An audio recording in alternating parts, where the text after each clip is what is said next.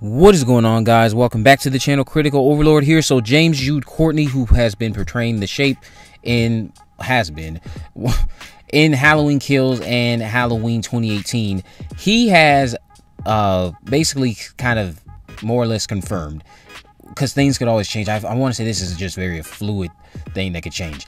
He has stated in a cameo that he did for a fan, one of those little cameo videos that you can request from certain actors who have this set up. He has disclosed that Halloween ends the concluding chapter in this new timeline that we all have been dealing with since 2018. This will start filming in the fall later this year, presumably again out in Wilmington, North Carolina, where we know Halloween Kills was shot and Halloween, not Halloween 2018, but um, I meant to say Scream 5. So we know we're getting Halloween Kills later this year, but James Jude Courtney has made it clear that the plan, I guess, as of right now, that we should expect Halloween Ends to start filming is later this fall. Now, I know that sometime last year, reports were coming out about the film filming in a couple of months, sometime in 2020. That, of course, was put on pause for things that we are already aware of as to why. So the fact that they're going to try to shoot the film later this fall and get it out in time by 2022, that's not something that's far fetched because I believe, if I'm remembering correctly, Halloween 2018 was shot and released in the same year. Shot and released in the same year, premiered at TIFF to an amazing response, and debuted at 100% on Rotten Tomatoes, even though that was like with a few small, small reviews at the time. And then it went on to be a big success when it was released to the general public in October. So the fact that they're going to film Halloween Ends in the fall of this year and then release it by 2022 next October, they can do that. They can do that. If nothing ends up coming in the way, any more hurdles, uh, that's something that they can do. I'm really looking forward to seeing what happens. I hope production goes smoothly. James Jude Courtney, we know he's the one that's been portraying Michael Myers again, as I mentioned in the last two installments Halloween Kills and Halloween 2018. So with him being back as this character once again he's doing he's been doing a phenomenal job. So i can't wait to see how they wrap things up with halloween ends when it starts shooting later this fall in wilmington. Now if i had to guess what month it would start filming i'm going to just go out and say most likely october. October um i mean why not? I you can film it in october.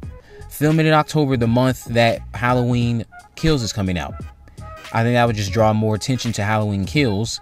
Uh, that could be like another another little marketing tactic. Like you know, while we have our Halloween Kills movie coming out in a couple of days, we're also in the process of shooting in Wilmington for Halloween Ends. So that would be another thing to kind of the production of Halloween Ends being used as a way to hype up Halloween Kills pending release in October. Now, maybe they should also just wait until of course they have their red carpet premiere but again, you can you can start production and then put things on pause if necessary to go do the red carpet stuff.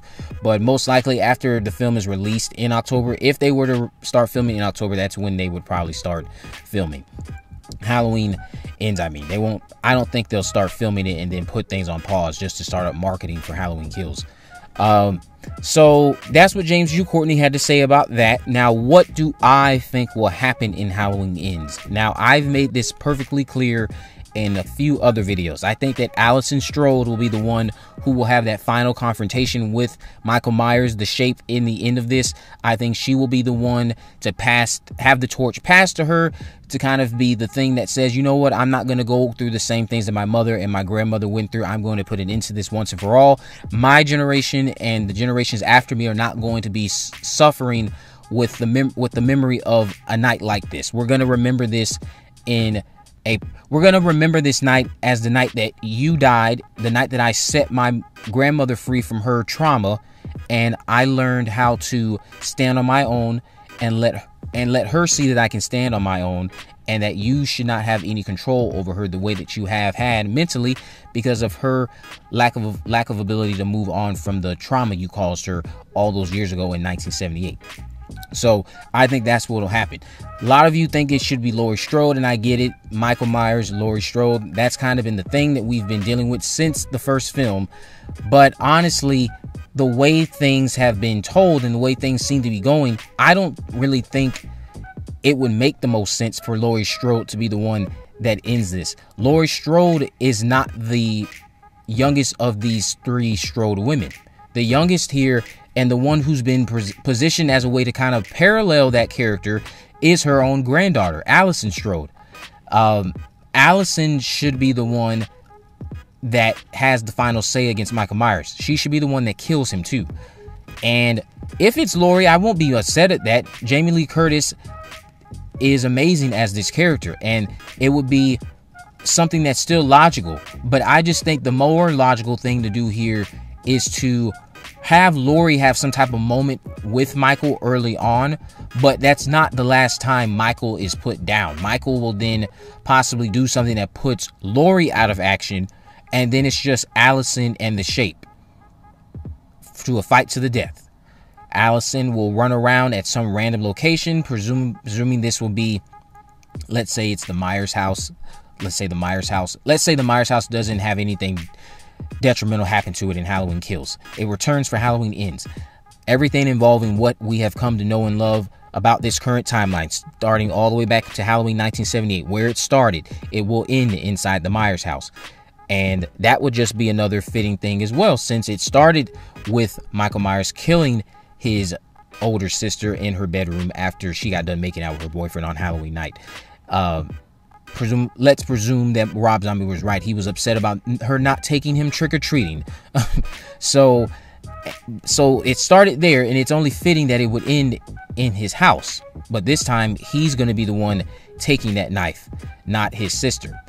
Um and I think would also be fitting if he took it in the same room Judith died in. I think that would be fitting too. You know, you reap what you sow. You're going to die in the room that you killed your sister in. You're going to die in her bedroom. Maybe not in the same fashion, but I think that would be very symbolic uh, if Michael Myers died in Judith's bedroom. Bedroom, you know, because had you not have killed Judith, Michael, you you wouldn't have had the life that you've had. We don't understand. We don't need to understand what's going on inside his head. He's clearly someone who's deeply disturbed, but you know they've tried to give us answers in the past, and the answers that, that they've given us, they've they've not been satisfying at all.